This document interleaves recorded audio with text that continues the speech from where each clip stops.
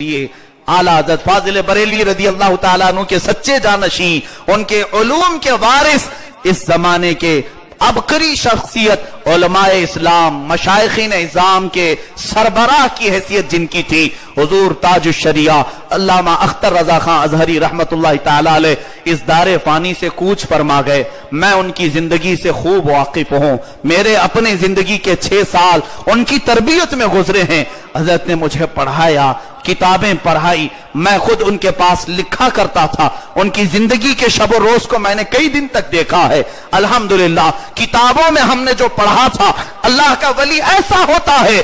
اس بریلی کی زمین میں اپنے آنکھوں سے دیکھنے کو ملا تھا کہ جن کا تقوی یہ تھا کہ لوگوں کے سامنے جس طرح وہ رہا کرتے تھے، تنہائی میں بھی بیٹھ کر کے وہی کام کیا کرتے تھے۔ ایسے نہیں کہ مجمع میں آنے کے بعد پارسا بن جائے، مجمع میں آنے کے بعد پرہیزگار بن جائے اور گھر میں جائے تو پھر اس کے عیب کھل جائے میں نے تنہائی میں بھی ان کے ساتھ وقت گزارا۔ کئی دن ایسے ہوئے کہ سفر کے دوران تنہائی رات کی ایسی ہوتی کہ اکیلا کمرے میں بیٹھا ہوں؟ میں نے دیکھا ہے سونے کا طریقہ کیا ہے، کھانے کا طریقہ کیا ہے۔ دس سال پہلے ہی آنکھیں بند ہو گئی تھی، دیکھ نہیں سکتے تھے۔ وہ اگرچہ بسارت بند تھی، بصیرت زندہ تھی۔ دل کی آنکھیں روشن تھی کسی کے ہونے نہ ہونے کا انہیں احساس تک نہیں ہوتا تھا۔ کبھی ایسا ہوتا ہے، لوگ دیکھ رہے ہیں، اس لیے سنت پر عمل کر لوں۔ لوگوں کے اعمال میں نے دیکھے ہیں، بہت سارا مجمع بیٹھا ہے، تب سنت پر عمل کرنے کا شوق آ رہا ہے۔ اور کوئی ہے ہی نہیں، تو کہاں سنت؟ سب اپنے اندر کی خرافات نکل آتی ہیں، مگر اس مرد مجاہد، حضور تاج شریعہ رحمت اللہ تعالی علیہ کی زندگی پاک کو میں نے سفر کے حالت میں بھی دیکھا، جب لوگ ہوں یا نہ ہوں، آنکھیں تو بند ہیں، انہیں معلوم تک نہیں ہوتا کہ کوئی آس پاس ہے، مگر کوئی عمل رسول اللہ کی سنت کے خلاف نہیں ہوتا تھا۔ حضور اکرم صلی اللہ علیہ وسلم کی شریعت سے ہٹ کر نہیں ہوتا۔ آج ہندوستان کے سینکڑوں نہیں، ہزاروں علماء کاملین جو علماء کرام ہیں، مجھ جیسے ہزار، بلکہ مجھ سے افضل ان کے ہزاروں شاگردوں میں ایک نکمہ آپ کے سامنے ہے۔ میرا تو کوئی بڑا علم، میرا کوئی اپنا مقام نہیں، لیکن میں اپنی حیثیت کے مطابق آپ کے سامنے جو کچھ بھی کر سکا، وہ اس فیضان تاج شریعہ کا اثر ہے۔ ان کی تربیت کا اثر ہے۔ باقی ہمارے پاس سرٹیفکیٹ کے لیے اور کوئی چیز نہیں۔ اگر کوئی مجھ سے یہ پوچھے سنت میں تو کبھی جمع نہیں کیا۔ ہمارے پاس سند، ان کی ان کی بزرگوں کی خدمت ہی سب سے بڑی سند ہے۔ ان کی بارگاہ میں ہم نے جو وقت بتائے، وہی سب سے اہم ہے۔ امام اعظم ابو حنیفہ رحمت اللہ علیہ اسی سال کے قریب ہو گئے تھے۔ آپ سے کسی نے پوچھا، آپ کی عمر کتنی ہے؟ کہنے لگے، ڈھائی سال کی عمر ہے۔ ڈھائی سال ہے۔ پوچھنے والے نے کہا، کیا مذاق کرتے ہیں آپ اتنے بڑے امام؟ کہا، مذاق نہیں، سچ بولتا ہوں۔ وہ امام جن کا علم، تقوی، پرہیزگاری پوری دنیا پر مسلم، لیکن برماتے ہیں، اسی سال میں اس میں سے اپنی عمر کے انہی ڈھائی سال کو گنتا ہوں جو ڈھائی سال میں نے امام جعفر صادق کے ساتھ گزارے تھے۔ اہل بیت کے ساتھ، رسول اللہ کی آل کے ساتھ جو ڈھائی سال میں نے بتائے، میں بس اسی کو اپنی زندگی سمجھتا ہوں، باقی تو میری کوئی زندگی کام کی نہیں۔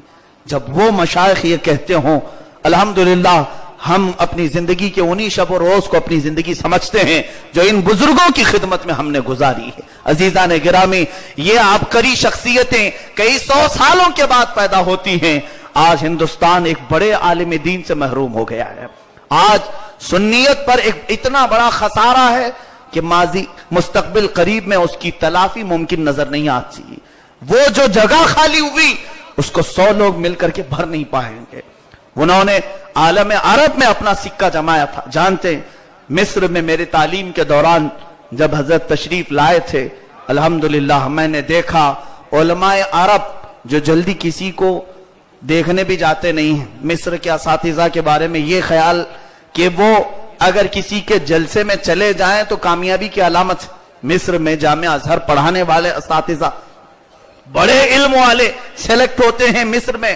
جامعہ اظہر کے استاد لیکن جس وقت حضرت تشریف لائے تھے، تقریباً ستائیس اساتذہ ان کی ایک محفل میں حاضر ہوئے تھے۔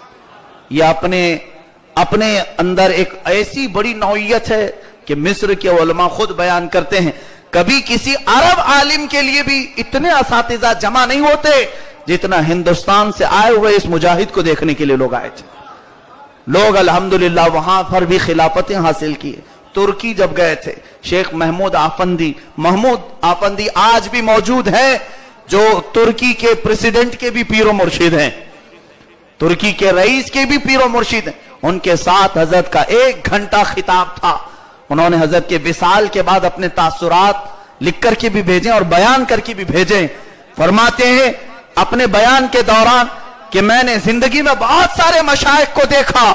لیکن اس بزرگ کو دیکھنے کے بعد میرے دل کی کیفیت الگ ہو گئی۔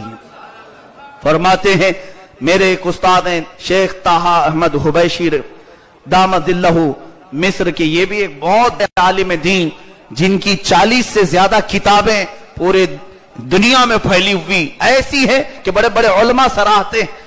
تاہا الحبیشی نام جب یہ حضرت سے ملاقات کے لیے آئے، اس کے بعد ہم نے پوچھا کہ آپ کا فیڈ بیکس کیا ہے، تاثرات کیا ہے؟ تو وہ رونے لگے۔ کہتے ہیں کہ میری آنکھیں بھی کمزور ہیں، نہیں دیکھ سکتا۔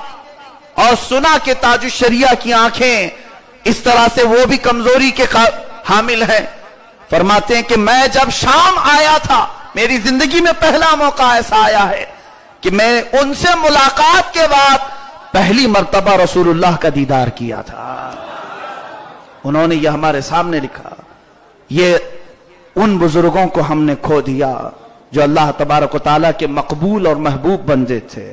ظاہر سی بات ہے، لاکھوں کا مجمع جس میں بریلی کی زمین تنگ ہو گئی تھی، سڑکیں جو اپنے آپ میں تنگ دامنی کا شکایت کر رہی تھی، یہ ایک ایسی بڑی علامت ہے کہ اللہ کے بندوں کو محبت کے پرچار کی ضرورت نہیں ہوتی، ان کی محبت مولا خود لوگوں کے دلوں میں ڈالتا ہے۔ کشا کشا لوگ چلے آتے